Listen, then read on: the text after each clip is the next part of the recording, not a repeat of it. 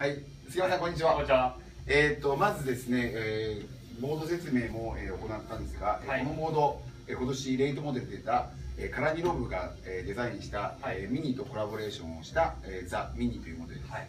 まあ名前の通りね、えー、これ車のミニの、えーはいエンブレムのマークを取ってるんですけど、はい。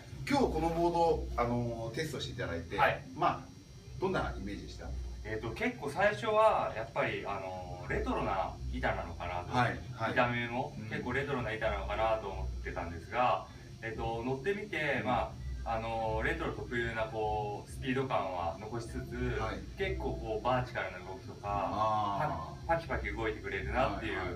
結構びっくりしましたね。あ本当ですか？は僕もね今日あのビーチの方で見させていただいたんですけど、はい。割とあの杉山さんいつもサーフィンでもこうレールを使うあのサーフィンも特徴なんですけど、はい。あの他のモデルと比べてかなりねあの乗ってる感じになんかレールを意識したような感じがしたんです。けど、はい、そうですね。あのちょっとやっぱりどうしても頭にレトロな板だっていううん。イメージがあったので、うん。ちょっとクルージング気味に大きくサーフィンしようかなっていうのを心がけて乗りました。はい。ただまあ本当に掘れたセクションではしっかりこう帰ってくれるうし、ん。でテールもやっぱあの思いのほか写真で見た時よりはだいぶ薄いなっていう印象を受けたので。そうですね。あのやっぱりこのデッキからはい。落とし込んでることによって、はい。ボトムターンで一番大事なこのテールの時にはい。入れやすい感じもあって割となんか僕見た感じ、はい。あのバックハンドのはい。ね、板の回しとか調はい。子いい感じがしたんですけど、はい。はい。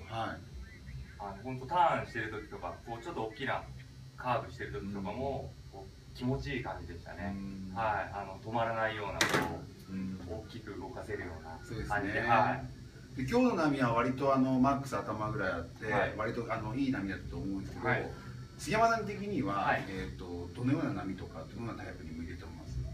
えっ、と本当にこう、まあ、乗ってびっくりしたのが、やっぱりどんな波でもどんな乗り方でもうん。合う結構オールラウンドな人も波も選ばないんじゃないかなっていうはい感じがしました。で、はい。今日はトライで乗らせてもらったんですが、はい。まあ、本当クワッドでも面白いんじゃないかなっていう感じも受けましたし、長澤今日はいくつおられてえっ、と5-3です。あはいはい。はい、実際に僕のあの体だと、はい。やっぱり少し僕もあの体重の方があるんで、はい。今68ぐらいあるんですけど、はい。僕で55がはいちょうどいいかなって感じで、自分まだねトライしかテストしてないんですけど、はい。今後僕もクワッドもはい。テストしていっても思います、まああのいわゆるこの、まあ、茅ヶ崎南口店さんで扱って、はい。